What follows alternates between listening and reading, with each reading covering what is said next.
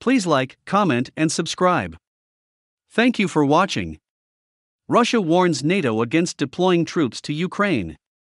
Russia has warned NATO against deploying troops to Ukraine, saying such a move would escalate tensions near its borders, amid renewed fears over the region's long simmering conflict.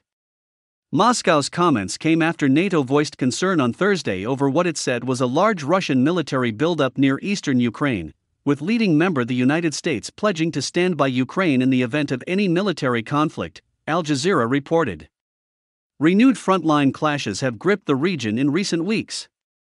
Russia earlier said an escalation in the conflict in Ukraine's Donbass region could destroy Ukraine. Kremlin spokesman Dmitry Peskov told reporters on Friday that the situation at the contact line in eastern Ukraine between Ukrainian government forces and separatist forces was concerning, and that multiple provocations were taking place there.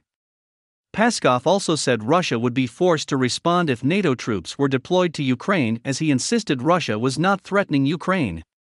There is no doubt such a scenario would lead to a further increase in tensions close to Russia's borders. Of course, this would call for additional measures from the Russian side to ensure its security, he said, without specifying which measures would be adopted.